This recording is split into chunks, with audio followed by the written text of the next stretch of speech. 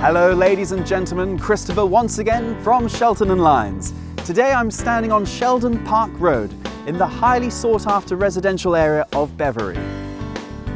This property features four bedrooms, two reception rooms and two bathrooms, as well as having benefit of a rear garden, driveway parking and a single garage.